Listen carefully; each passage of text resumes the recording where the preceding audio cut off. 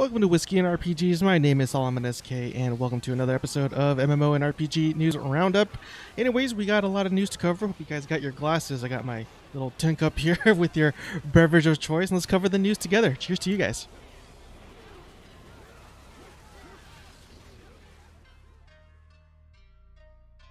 So the first bit of news comes from MMORPG.com, and it's probably one of the bigger news when it comes to the MMORPG world. But uh, it says Ascent Infinite Realm, renamed Elion or Elian, closed beta coming to Korea April 11th.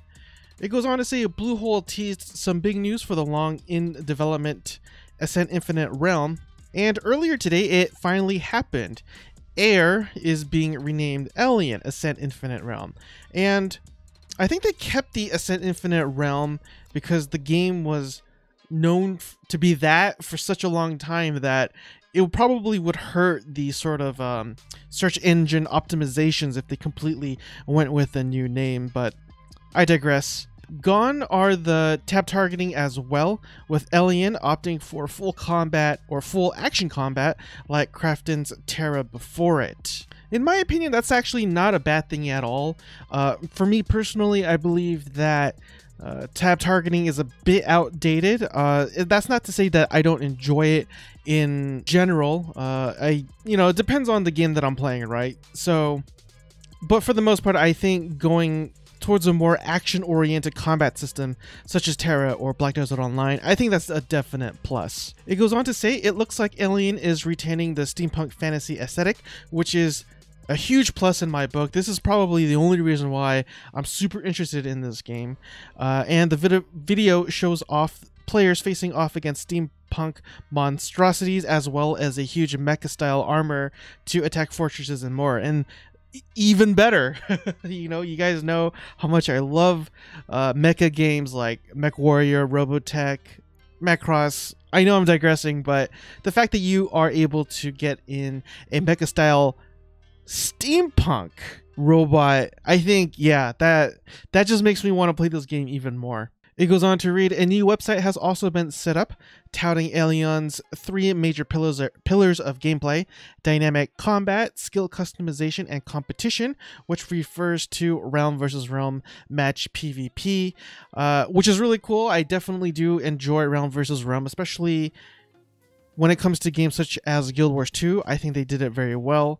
It goes on to say that closed beta is taking place this April 11th in Korea as well. I'll try my best to do everything I can to get into the beta, but I'm not I'm not holding my breath. So we head on over to massivelyop.com, still talking about Elyon, uh, just to kind of give you a little bit more information about why the changes and whatnot. And they go on to say, in quote, the name Elyon is meant to provoke the adventure of exploring a new world and is also the name of the portals that players will be fighting over when striving for dominance of the world with their chosen faction.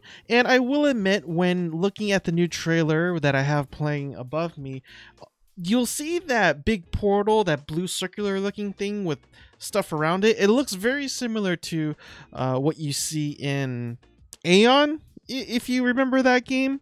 I suppose there's only so many different ways that you could make a portal look, uh, but it definitely seems like it has some Aion influence as well. And lastly, the game is currently still being tested in South Korea, and while Kakao doesn't include a release plan or a date for the EU and NA, it does say it's, quote, still planned to release through Kakao Games, end quote. And I think the implications of that is uh, Kakao Games is, I guess, what do you call it? Western subsidiary or the Western uh, branch of the of the company that publishes and releases games, and so uh, will this game come out to the US? Highly likely. Highly likely. When? I'm not exactly sure, but uh, hopefully we could get it by the end of this year. You know, you never know. Another game that made a huge splash, uh, surprisingly, uh, is a game called Mortal Shell, and this is brought to you by GamesRadar.com. Mortal Shell is a horror action RPG with big Sekiro energy. Watch the reveal trailer here, and I have the trailer playing above me, and it is it is absolutely brutal. Uh, this game takes Dark Souls and just cranks up the notch in terms of its violence and gore and, and, and just even the aesthetics is just so much more brutal. I guess, I mean, that's the only reason, or that's the only way I could really describe it. But they don't really try to hide the fact that From Software Games has a huge influence on their game as well. But Anyways, it reads on Mortal Shell is a promising new action RPG heavily inspired by From Software's family of Soul titles, and it's coming to PS4, Xbox One, and PC later this year. Formerly or newly formed developer Cold Symmetry, together with publisher PlayStack, revealed the game today. Mortal Shell was originally a demo game called Dungeon Haven, which was first shown in 2018, but its scope seemed to have been expanded to match its new name. You play as a humanoid vessel exploring the rotten world inhabited by monsters and men gone mad. Your ultimate goal is to track down hidden sanctums of devout followers and harvest the sacred glands. That, that's pretty pretty intense. And again, they're not trying to hide the fact that a lot of From Software's games has a huge influence of what type of game that they've made. Uh, goes on to read as if the trailer wasn't a dead giveaway. Cold Symmetry says Mortal Shell was quote built upon a ruthless traditions of souls like genre combat centers around dodging and parrying attacks like sekiro it even has a counter system complete with a red marker so I'm not gonna lie, I typically don't do too well with horror games, uh, with a very few exceptions, uh, such as Resident Evil and the Silent Hill series, to name another.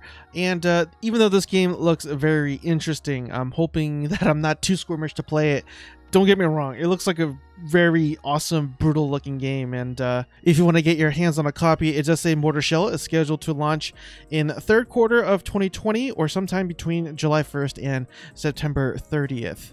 So I know a lot of you are huge Lord of the Ring fans out there, and even though you'd like to play an MMO version of it, the one that's out right now, it's it's kind of dated. Let's be honest. And is it a good game? I I don't know. I haven't really played it in a while, but uh, luckily you're getting a new MMO. So the next news comes from massivelyop.com. As Amazon's Lord of the Rings MMO is hiring, online shooter Crucible gets a launch window.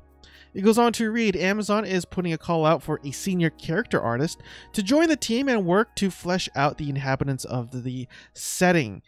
It goes on to read This posting lines up with several from last year that showed the studio ramping up work on the project. Amazon joined forces with China's Leyou, I believe that's how you say it, to create the massively multiplayer title for both PC and console.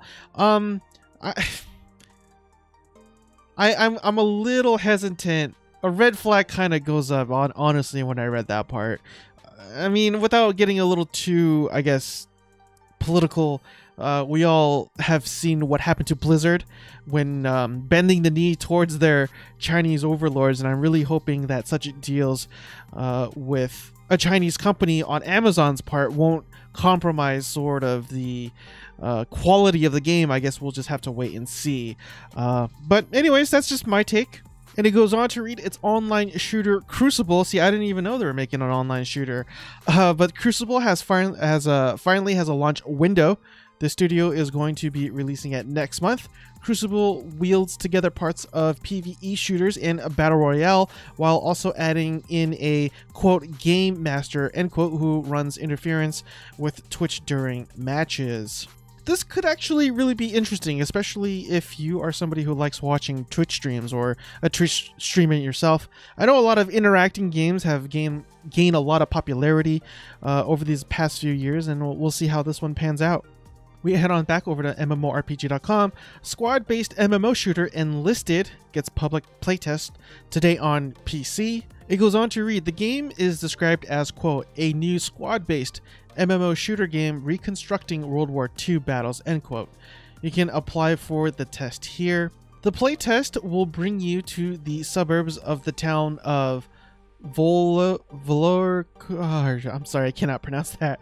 Uh, during the fiercest days of the Battle of Moscow and will allow players to try one invasion mode map and two domination mode maps. Invasion mode is set so that one team is trying to storm the heavily fortified positions while the other defends. Domination mode is a classic team battle over three controlled points. Now you could definitely check out their website here, and I do apologize, it's cut off here over on the right. But even still, after after reading everything, I'm, I'm a little skeptical about the about the MMO part of this game. So I took a look at the comments and it says right here, and definitely take this with a grain of salt, 140 players max in a fight, more in the not quite an MMO category methinks. And and if this is true, if this is only a game where it caps at 140 players, I'm not sure if you could really categorize that as an MMO. I mean, I believe PlanetSide has those type of numbers too, and I don't think people really consider that as an MMO. So I don't know. I guess we'll see. It's definitely interesting, and um, this game is still in its public testing uh, phase, so we'll wait and see what happens next. So, sticking with MMORPG.com, Valnir Rok, I think I'm saying that correctly, receives a big performance and graphics update. And the reason why I wanted to cover this is because this is another online game that I've never heard of and I'd like to know more about it. But it goes on to read updates have been implemented on performance and graphics or graphic side of things, along with some minor fixes. A 50% discount starts on April 6th at 10 a.m. Pacific time as well. And heading on over to their sort of uh, game description page, uh, it is considered an MMO game, MMOG. Release date still says 2018. They probably should update update that here, but uh, um, but here are some interesting things about this game. Valnir Rok is a multiplayer survival role-playing game in a Viking setting with quests by best-selling author Giles Kristian. And here at the bottom, experience a Viking lore as you complete quests written by award-winning author Giles Kristian or take your story into your own hands by creating your own quests for a completely customized experience. And I have to admit, that definitely piqued my interest. Uh, I don't think I've ever played an online game uh, MMO or otherwise that it actually allows you to make your own quests. And so I'm really curious how this is going to pan out, what that entails, and um, when I check it out, I'll let you guys know. I have to admit, I thought this one was really cool too, even if it's a game that maybe isn't really marketed towards somebody like me. I don't know, I'm just assuming a lot here, but uh, but anyways, Harry Potter meets Stardew RPG Witchbrook summons a new look and it's gorgeous. And yeah, I really like that old retro style that you see here in this picture. It's no secret that Stardew Valley is a game that's been immensely successful, selling millions and millions of copies, and it's still kind of you know falls under the radar compared to other i guess aaa titles out there and who knows maybe uh, this game could also follow in its footsteps. But it goes on to read Witchbrook that harry potter inspired rpg that lets you live the life of a magic school student has a new look and it's and it's enchanting i do have to agree it is very enchanting. Developer Chucklefish first revealed which Witchbrook back in 2017 but it does go on to read that Chucklefish still isn't ready to give out a release date or planned platforms for Witchbrook, but it has open signups for a newsletter if you want to be first in line for more info. It's a really charming looking game. Um, yeah, I, I will admit that. And uh, when it comes out, I mean, I'll definitely be giving it a try just to see what it's like. And real quick again, I did add a smaller segment within the MMO and RPG news roundup called PSAs. And again, these are just really small short stories that I wanted to cover, uh, such as updates, beta key giveaways, events, new content, things of that nature, things that um, I really think is worth covering, but that doesn't really require a whole in depth analysis or a lengthy explanation. And the first PSA is about Phantasy Star Online 2 that confirms that a PC version is still arriving this spring, and this is brought to you by massivelyop.com. But yeah, it just goes on to say that the PC is still on track, and the dates simply haven't been announced yet. And you can see their official uh, response to another fan uh, via Twitter. Sticking with massivelyop.com, Fallout 76 PC players can scoop up a game copy on Steam for free. So here's a nice surprise. The new Fallout 76 was coming to Steam, but we didn't know that existing players could claim a free copy to play when Wastelanders rolls out. I know Bethesda hasn't been receiving a whole lot of good news for the company, uh, especially last year, but I think this is a really cool thing that they've done for its existing fans and players, especially for those who shelled out all that cash for the Ultimate Edition, and, and they did get a pretty cool helmet, uh, but the game ended up not being to everybody's expectations, but that's neither here nor there. So next we head on over to MMORPG.com. Sea of Thieves coming to Steam, full cross-play with Xbox and Windows 10.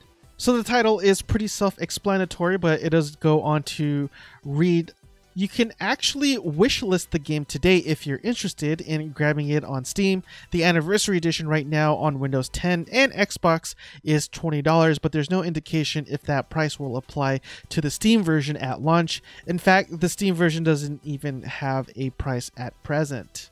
For those of you who like MMOs and battle royales, or there's a game out there that actually tries to combine both, Coming from MMORPG.com, Battle Royale MOBA RPG Hunters Arena Legends starts closed beta signups. It does go on to read the Battle Royale mobile RPG Hybrid Hunters Arena Legends begins closed beta signups. Here's what you need to know. The second and final closed beta test is going to be conducted from April 22nd through April 26th.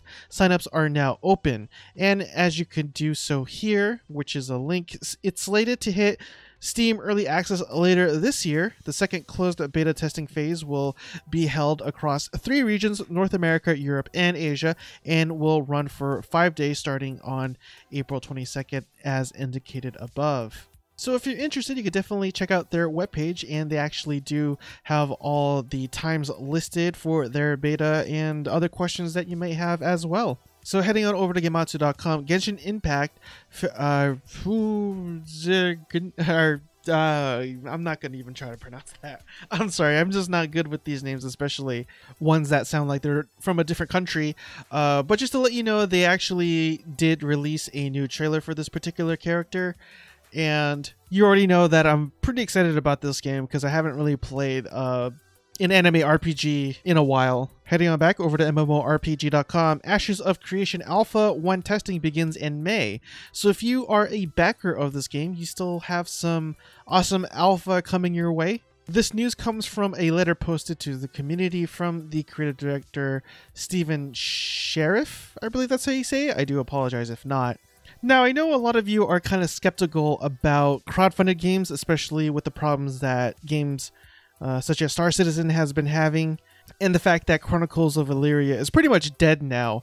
Uh, but it seems like, at least with this particular game, they're making a lot of progress, and the ball does seem to be rolling. So, if you are somebody who has invested in this game, you have some alphas coming your way. Another Rift story. Like uh, this totally blows my mind. I didn't, I didn't think I'd be covering this game again, but over at massivelyop.com, Rift activates Frozen Waters Battle Pass in bonus experience event. So I covered the bonus experience event last time, but I didn't know they actually went with the Battle Pass system. It goes on to read Gamigo or Gamigo, however you pronounce it, uh, activated the third season of the game's Battle Pass this week, calling it Frozen Waters players can pursue daily and weekly quests to work their way up a reward track and earn housing items and other goodies as well.